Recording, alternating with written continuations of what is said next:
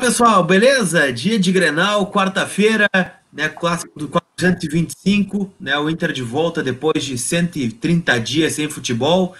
E tem clássico Grenal hoje, no estádio Centenário em Caxias do Sul. Finalmente a gente pode dizer, né? Tem dia de Inter hoje, tem clássico Grenal, né? Depois de todo esse rolo aí, jogo no Beira Rio, jogo fora, jogo não sei aonde, vai ter jogo 9 e meia lá no Centenário. E muitas informações estão chegando lá de Caxias do Sul, né? A gente não tá lá, vocês estão vendo, né? A gente não tem acesso à concentração do Inter, não vamos ao estádio hoje, né? Mas a gente tem informações chegando da Serra sobre os bastidores envolvendo a concentração do Inter para esse clássico Grenal. Para repercutir comigo isso e com vocês também, o Alexandre Ernest, direto do Canadá, né? Para repercutir, e o Leandro Bess na sua mansão em Porto Alegre, tudo certo? Tudo certo, a, a, gente não tá lá, mas o WhatsApp tá bombando, né? É. é. Não, e, e, é legal assim, ó. Vamos aproveitar já esse início de vídeo só para dizer o seguinte, né? Hoje à noite, a partir das oito e meia da noite, a gente vai fazer um pré-jogo curtinho, né? Para dar ali algumas informações de bastidores, justamente desse WhatsApp aí, desse WhatsApp que não para, né? E depois do jogo, por volta das 11h45, 11h50, uns 20 minutinhos, 25 minutinhos depois que acabar o jogo, a gente entra com o pós-jogo, beleza? Com a repercussão de tudo que vai ter lá. A gente vai participar da coletiva, né? Um dos, um dos nossos aqui. São duas. São um duas coletivas, né? Exatamente, são duas coletivas que vão ter. Uh, vai rodar na TV Inter, mas nós vamos puxar o sinal da TV Inter, já tá tudo organizadinho, assim. Cara, então, se você quiser vir conosco, a gente vai achar muito legal, beleza? E o Leandro é aquela coisa, né? O WhatsApp não para porque tem, tem muita repercussão, e principalmente em rede social, né? Uh, essas declarações aí de, de dirigentes, porque antes era só torcedor, né? Antes era só torcedor inventando uh, bobagem em cima de vídeo de tapume, né? Em vídeo de. de, de que, Agora é oficial. Barulho em, em barulho uh, atrás. É, o fiscal, tem o fiscal, tem o fiscal de treino, agora tem o fiscal de apito, né? Fiscal é, de apito. sabe? E só que agora não, né?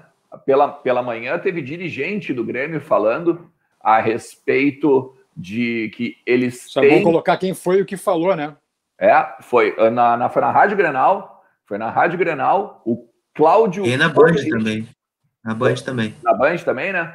Na, o Cláudio Oderich, vice-presidente do Grêmio, ele declarou, ele declarou literalmente que tem informações de que o Inter treinou antes com bola, uh, com, uh, uh, coletivamente, antes do permitido, tá? E isso causou um furor nos bastidores ali, porque volto a dizer, antes era torcedor, antes era comunicador, antes era fakezinho idiota de internet. Agora não. Agora é dirigente do Grêmio.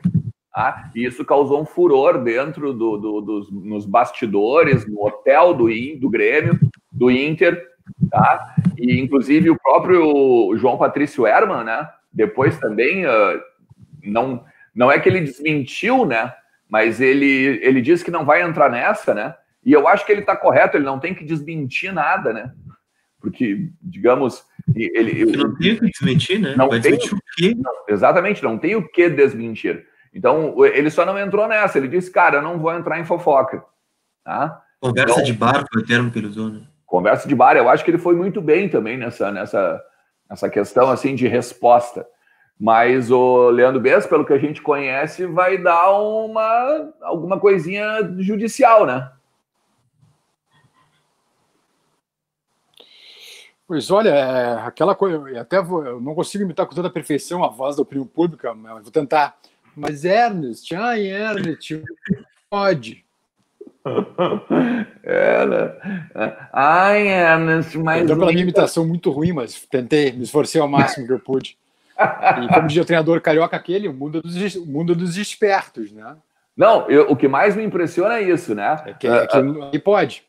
É, com drone não tem problema. Ah, não, mas é o mundo dos espertos. Né? Se houvesse, se houvesse a, a, acontecido, né, a questão do, do, do, dos treinos, eu fico assim, impressionado como as coisas mudam de figura de uma hora para outra. Mas a questão, eu, eu acho que principalmente isso. Uh, não, não. Eu, o, o, é, o Inter, o Inter tem, o Inter tem uma, como vamos dizer assim, tem um vídeo em que mostram lonas pretas e dizem que tem treino coletivo. Beleza. Do outro lado a gente tem o cara indo em beira de praia jogando futebol, o cara, o cara uh, uh, não guardando a quarentena, o cara sendo interpelado por policiais na beira da praia. Isso aí não tem um, um questionamento, uma frase a respeito, sabe? Tem uma notinha de repúdio bagaceira, né? É que tá na moda agora, né? Pelo amor de Deus, né, Grisado? Mas assim, é só para trazer. Dizer... É que assim, Ardech, ó, só para. É que as pessoas não entendem, tá? Talvez alguns dirigentes ainda tenham a mentalidade da década de 70, década de 80, tá? Mas é, tem que explicar, né? Vamos desenhar. Para tu treinar taticamente, para tu treinar tecnicamente, para tu treinar de qualquer forma, tu não precisa fazer um treino coletivo 11 contra 11. Tu não precisa fazer isso. Quantas é. já viu no próprio Grêmio, né? Você, o, o B especialmente foi setorista do Grêmio, é, cobriu alguns treinos do Grêmio. Começou quantos, por baixo, né? É, quantos treinos fantasmas a gente não viu? Bota os 11 titulares e desenha a jogada, desenha o, o desenho tático, né? espelha uma jogada. Né? Não precisa ter o contato, dá para manter o distanciamento. Né? A tecnologia, né? os estudos já permitem isso. Né? Talvez o outro técnico não faça esse tipo de trabalho seja uma novidade, né? mas de qualquer forma, né, dá para fazer, né? Não foi aquele contato, aquele rachão, aquela coisa toda que tem jogador se encostando e bola parada e não sei o que, não. É por isso que é quando eu, o Claudio Oderich cita, ah, o, o, o Potker surgiu para o Cudê só correndo. Não, não foi só correndo. Foi se apresentando mais magro, foi participando desse tipo de trabalho, trabalho de finalização. Pode pegar as imagens da TV Inter, né? Ou as imagens da própria Grêmio TV. O Grêmio não fez trabalho de finalização, o Grêmio não fez trabalho né, técnico, o Grêmio não fez trabalho tático. Duvido, duvido, porque o CT do Grêmio também é fechado. E pode fazer, tanto que o Inter fez dessa forma. E a partir da segunda-feira passada, quando houve a liberação, aí sim, um trabalho coletivo, com contato, né? Com é, o campo reduzido, seis contra seis, oito contra oito, não sei, não, não acompanho os treinos mas agora, insinuar isso, dizer que tem informações, o ônus da, da prova é sempre de quem acusa, né?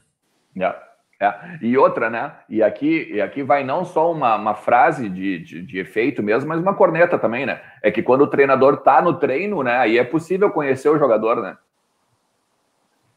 E eu acho que com isso a gente encerra qualquer questão, né? Sabe?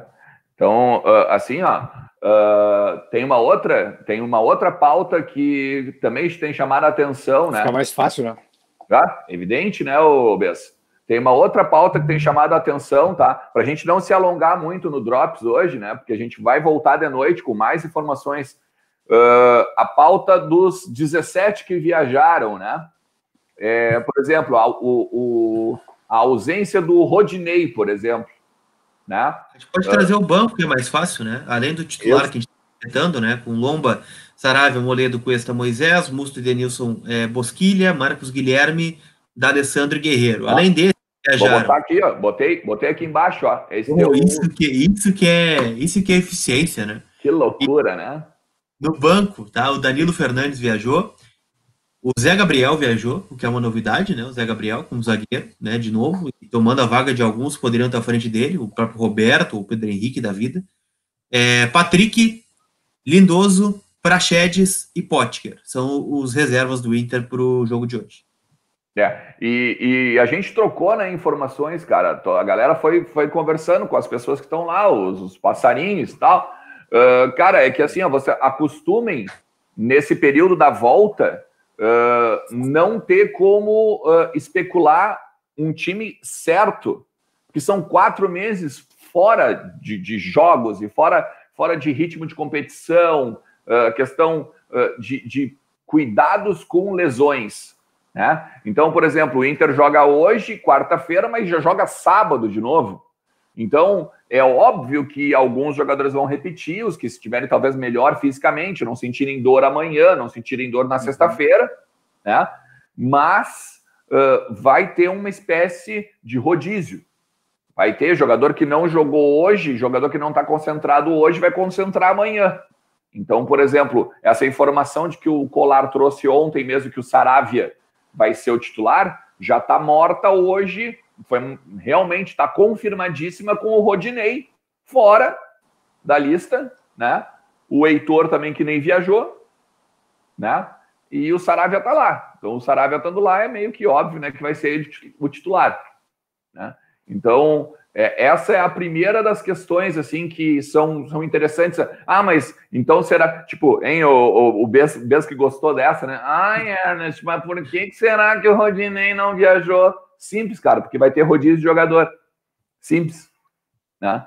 Então, e, e, tem a questão também do Rodrigo Dourado, né, o Colar e Bez. Acho que o Bez deu uma travada ali. Não sei se ele tá ouvindo a gente. Mas... Ah, pior, né? Agora, Mas... agora... É, beleza. Mas vamos, é, vamos, mas, vamos lá, a gente vai trazendo ele depois de volta. A gente bota o... ele de volta. O Rodrigo Dourado, ele tá. É aquilo que a gente falava, né? Era muito difícil que o, que o Dourado aparecesse para esse clássico Grenal, né? Não é o momento, né? De dele voltar ainda. Né? É o que a gente diz, ele tá apto para jogar? tá, tá apto para jogar, mas não é o momento dele jogar. E vão ter outras oportunidades, né? Propriamente sábado, né? Já tem um jogo contra o Esportivo em Bento Gonçalves, né? Um jogo mais leve, né? A princípio, né? O Inter pode já estar tá classificado para a próxima fase da, do, do Campeonato Gaúcho e, e, ele vai aparecer, vai aparecer em algum momento, assim como outros garotos que são relacionados agora, o próprio novo reforço, né? O Matheus Jussa também deve aparecer. É bom dizer assim, né? Né, os jogadores estão em Caxias hoje, podem jogar sábado, mas tem um grupo já concentrado para esse jogo também, né? Grupo Isso. concentrado para esse jogo, né? Em Porto e vai viajar para Bento Gonçalves muito possivelmente no sábado mesmo, ou até mesmo na sexta-feira, né? Não, não tem essa informação ainda. E, e, querendo ou não, já tem jogo na, na outra semana em Porto Alegre, em Porto Alegre, não, em Caxias, né? Contra o, contra o, contra o Aimoré. Então, vai rodar bastante o elenco, vai rodar. É, vão repetir alguns jogadores, tem essa questão de lesão, de, de desgaste, são 130 dias sem jogar, então vai ter chance para todo mundo, né? Acho que esse é um ponto positivo. Não é o Aguirre, mas vai ter rodízio. Não, e, e os jovens, né, Obes? Eu, eu não sei tu, cara, mas eu tô muito ansioso para ver Nossa, os, a gurizada, né? A, a gurizada daqui a pouco vai surgir aí, o, tipo, vamos supor, se, se ganha hoje, tá praticamente encaminhada a classificação. Daí tu pode botar um Vinícius Tobias, daí tu pode botar o próprio Léo, daí tu, tu pode trabalhar os guris, né? Para ver, olha, se esse aqui é promissor. claro, aqui, né? é hora de aparecer, né? Tu imagina, o, o Colar ainda trouxe a questão do Praxedes, né? Que o Praxedes... É, o que chamou a atenção, né? Praxedes foi pro banco, né? O Donato não foi. É, exatamente. Parece uma mudança na hierarquia, né? O Léo Borges está no galchão, o Natanael não tá é. mais. Então é uma mudança de, de hierarquia. É, é como se fosse um começo de temporada, né? Tá bem o elenco para não, não, perder ninguém, né? É, assim, ó, a gente tá um pouquinho. Bom, a gente tá aqui fazendo a gravação, e é óbvio, né, cara? É um programa. É a gente vai, não vai parar, mas uh, o sinalzinho de internet Porto Alegre, a gente sabe como é que é complicado. A gente vai uh, aguardar um pouquinho o Leandro voltar. Mas olha só, tem uma. Eu acho que para a gente encerrar, o Polar, tem a questão do dourado, né, cara? Eu acho que também é a grande, não só novidade do, da, da, lista de relacionados, mas uh, a lista de relacionados, a nova, se tu até quiser trazer aí para de repente quem não pegou, no Os inscritos, né? Não relacionados. É, desculpa, os inscritos, isso. Os inscritos do Gauchão, né? Que contou com a novidade não só dessa gurizada, que a gente estava falando há pouco, mas a questão principalmente do Rodrigo Dourado, né? Sai o Natanael, né? Que até onde a gente sabe também está um, um, pouco mal da gripe e tal. Uh, e uh, entra o Rodrigo Dourado, que está há mais de Sim. ano sem jogar, né? E está e, e, e, agora está inscrito no Gauchão, né, cara? Uma expectativa muito grande para que ele também venha entrar agora nesse rodízio aí, uh, que o Inter provavelmente vai fazer agora no, contra o, o, os dois últimos jogos, né? O Aimoré e o Esportivo. É, só para dizer, eu tô com a lista aqui, tá? Vou mostrar para vocês. É, de novidades, tá? O Matheus Jussa na defesa, né? entra como uma novidade. É, na lateral, o Leonardo Borges entra na vaga do próprio Natanael, que a gente falava há pouco. No meio, dá para citar não tem muita novidade, né? O Dourado é a grande atração mesmo. E na frente o Peglo, né? O Peglo não estava inscrito. Então, são algumas novidades, saem alguns jogadores aí, né? Caso aí do Natanael, né? Saiu o próprio Gustavo, né? Que estava na lista do Campeonato Gaúcho, já foi para a Coreia, já foi apresentado, deu tudo certo lá. E o Guilherme Pato, né? E o zagueiro Carlos Eduardo. Então são quatro trocas a princípio, né? É bom dizer que não precisava esse limite, né? Pelo que eu vi, né? Não precisava da lista de inscritos do Campeonato Gaúcho. Então o Cudê aparentemente definiu, não, eu tenho sete jogos, se tudo der certo, né? O Inter for campeão gaúcho eu tenho esses jogadores aqui, vou usar estes jogadores. Né? Inclusive, né, Ernest, a gente pode abordar isso depois do Grenal, mas a CBF detalhou a tabela do Campeonato Brasileiro, né? E vai ser pau e corda, cara. Vai. Jogo quarta, jogo sábado, jogo terça, jogo quarta, tem Copa do Brasil no final do mês, então vai apertar. Vai apertar, né? Libertadores já começa em, em setembro, então vai precisar de todo mundo, não tem muito o que fazer, né? Não tem como definir, não, eu vou jogar com estes 11 e os 11 vão jogar e quem não tiver sai. Não, não vai ser assim. Infelizmente não vai ser assim porque é, o grupo não vai aguentar, é muito jogo, é muita viagem. Alguém vai ter que ficar fora em algum momento, o outro vai ter que vir, vai ter que, vai ter que corresponder. Então todo mundo vai ter que estar pronto. Eu, eu não vou acreditar muito nessa história de titular e reserva nesse primeiro momento. Acho sim, né? Claro, os melhores têm que jogar mas acho que vai ser diferente. Os melhores em condição vão jogar. Esse vai ser é. o ponto que vai, vai ser definitivo nessa temporada.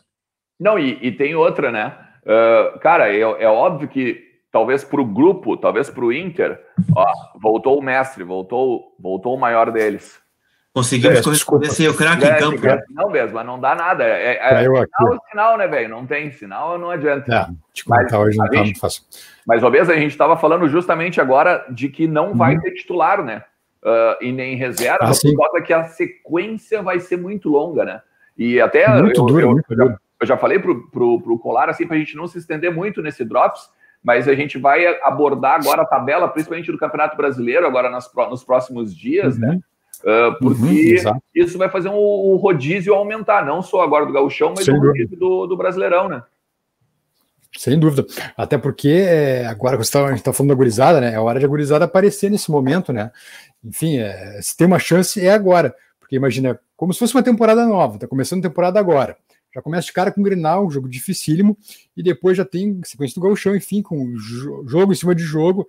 É, é hora dos guri aparecerem, né, Alexandre, né, Lucas? Porque, enfim, se tem uma chance de, de se firmar no grupo principal, essa chance é agora. Eu realmente só lamento o fato de o, de o Guilherme Pato ter sido excluído do grupo do Gauchão.